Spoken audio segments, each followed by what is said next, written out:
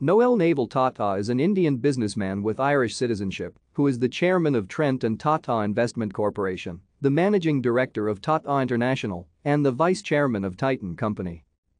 Part of the Tata family, he is the son of Naval Tata and Simone Tata.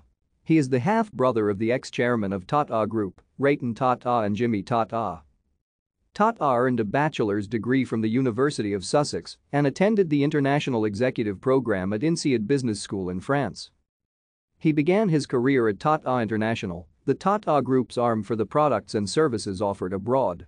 In June 1999, he became the managing director of the group's retail arm Trent, which was founded by his mother.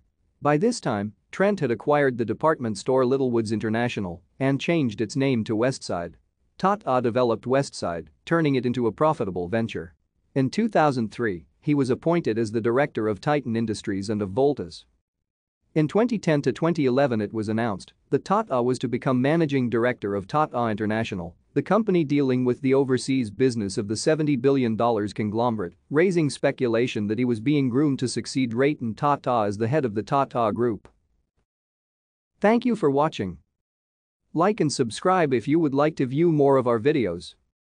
Have a nice day.